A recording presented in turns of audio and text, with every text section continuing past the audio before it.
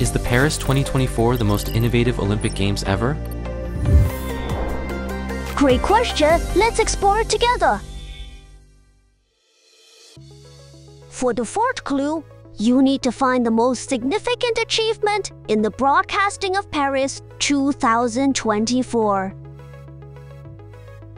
The International Broadcast Center, IBC, serves as the temporary home for Olympic broadcasting services and the media rights holders during each Olympic Games. All media coverage from the various competitions is transmitted to the IBC before being broadcast to the world. What do you perceive as the most significant broadcasting achievement for Paris 2024?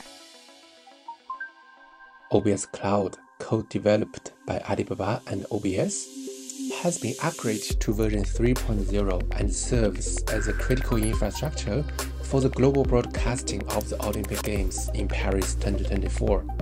OBS Cloud first appeared during Tokyo 2020, marking a significant step into the digital era for the Olympic Games.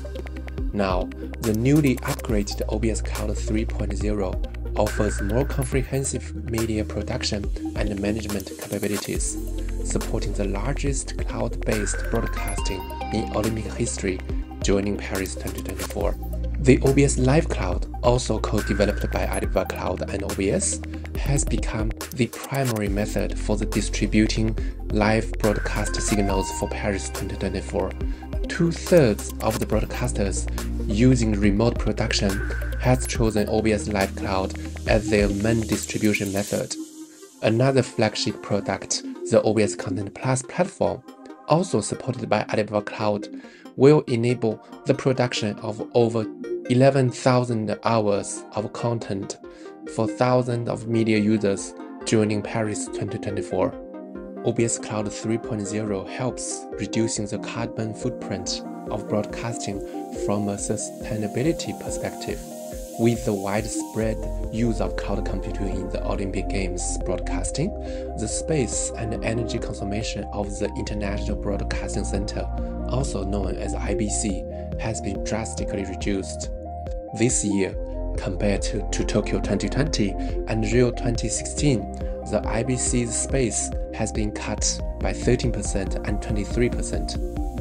Electricity provided by the organizing committee has been reduced by 44% and 72%. The venue complex space has been reduced by 11% and 20%. And the venue broadcasting power has been reduced by 29% and 46%, respectively.